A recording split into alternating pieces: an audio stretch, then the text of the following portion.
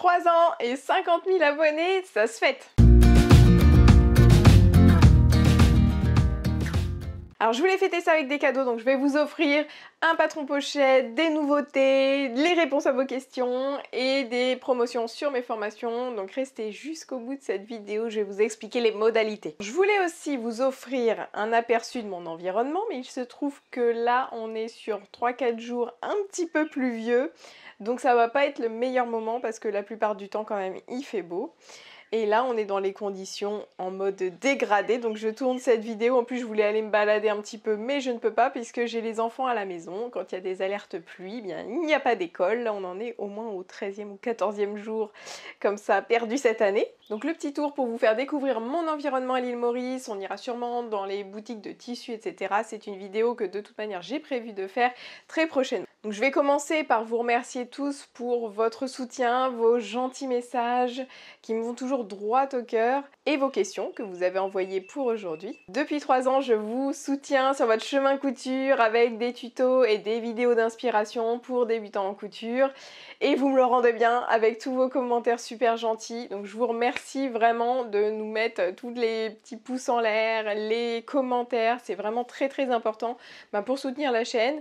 Euh, plus une vidéo a de commentaires, plus YouTube est susceptible de la proposer à d'autres personnes et ça fait euh, aider aussi d'autres personnes qui font des recherches sur la sur YouTube. Ce qui m'amène à mon cadeau pour vous, je vous ai parlé d'un patron pochette en début de cette vidéo. Effectivement, j'ai prévu d'offrir le patron pochette de votre choix à une personne qui sera tirée au sort parmi les commentaires. Alors attention, il y a une sorte de mot de passe à mettre dans votre commentaire et ça je vous le donnerai un tout petit peu plus tard dans cette vidéo.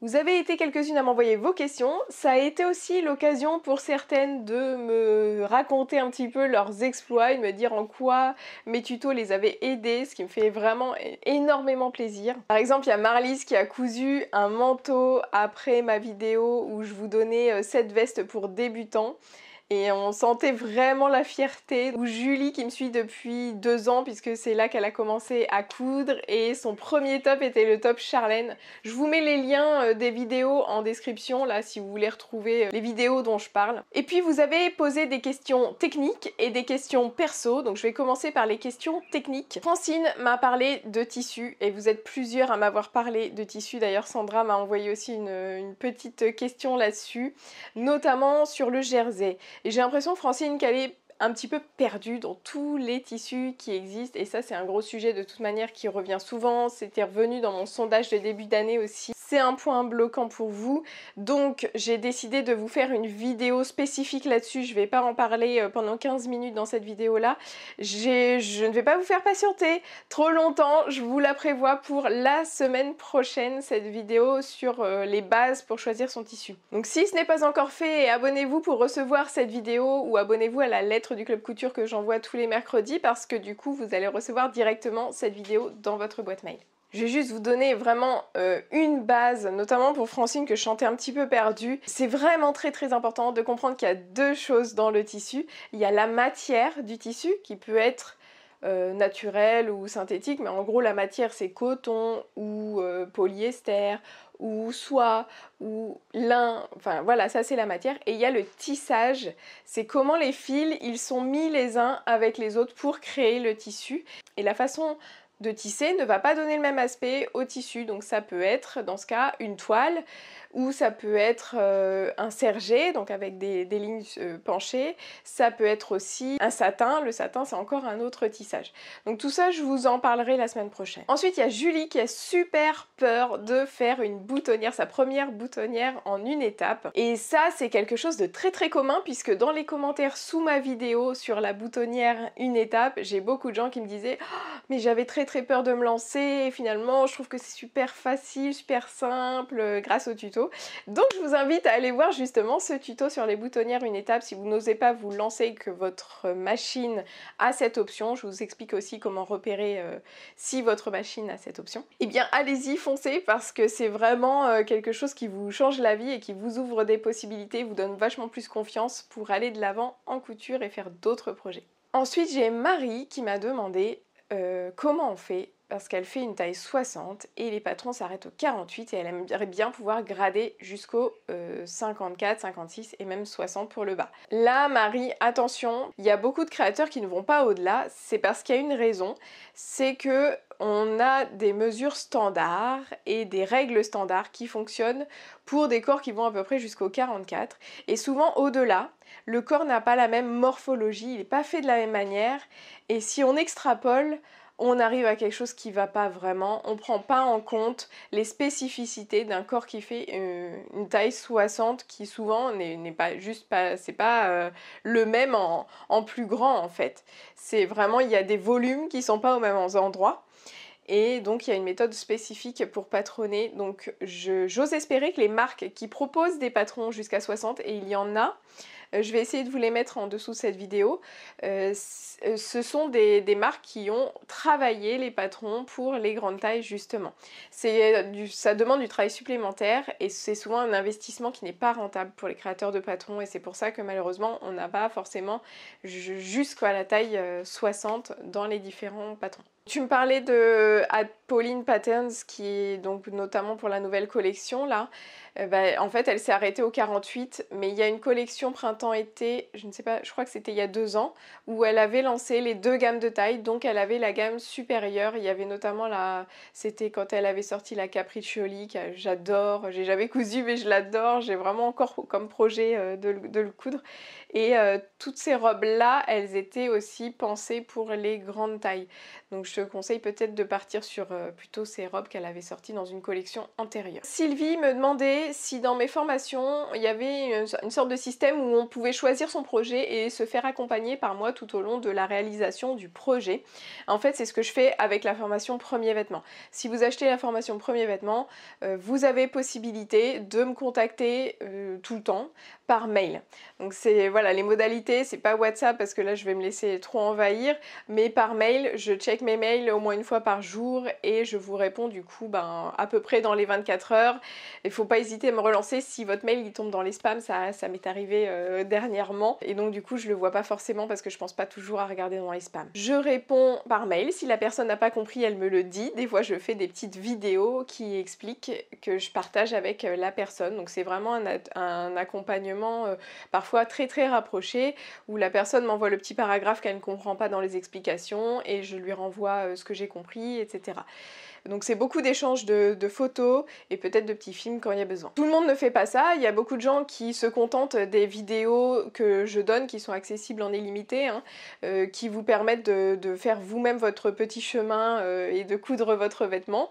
Mais si vous avez euh, pris des explications particulièrement incompréhensibles, je suis là pour vous aider. Ensuite, il y a les questions perso. Donc Sylvie me demandait pour mon parcours. Donc je vous avais déjà parlé de mon parcours couture, je crois, dans une des vidéos que je vous mets aussi en description. J'ai commencé la couture quand j'étais ado, euh, j'ai cousu des sacs dans ma chambre d'ado.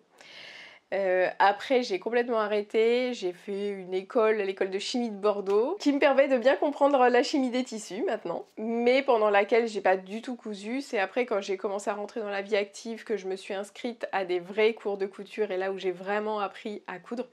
J'ai travaillé trois ans chez Veolia O. Quand je suis partie pour euh, suivre mon conjoint à Nancy, mes gentils collègues m'ont offert la machine à coudre que j'utilise toujours actuellement. C'était le plus beau cadeau, je les remercie vraiment. Je sais que Louise, elle me suit toujours et je lui fais des gros bisous.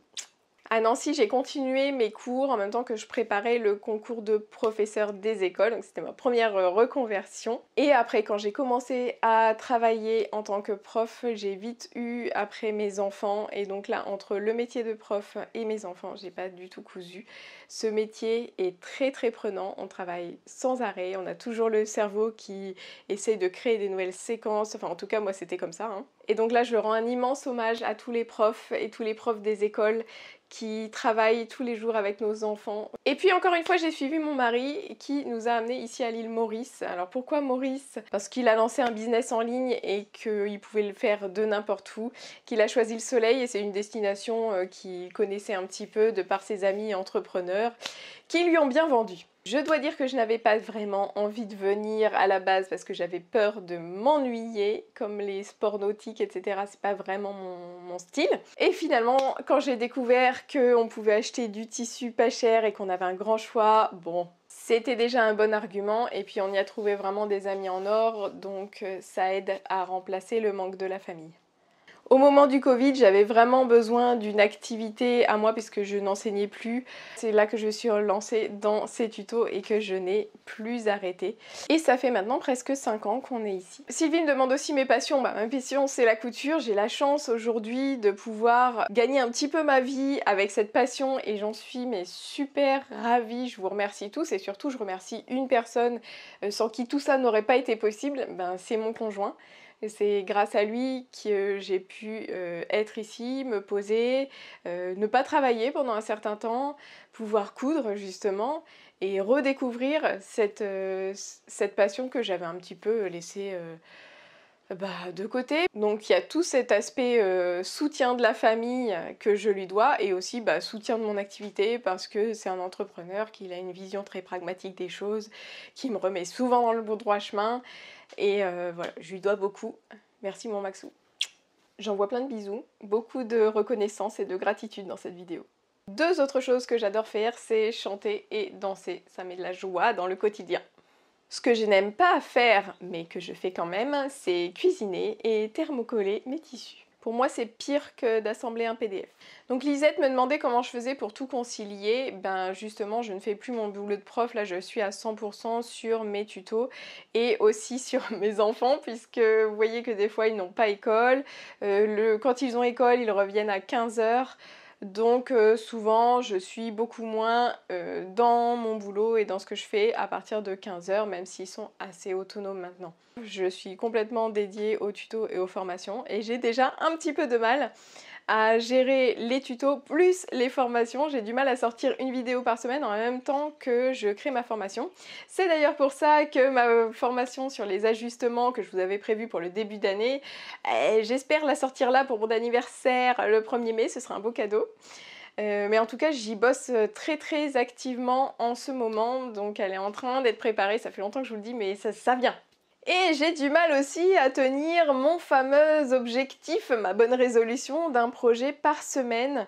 Je me suis fait un petit agenda avec euh, chaque semaine, il y a toujours euh, le, projet de la semaine en couture.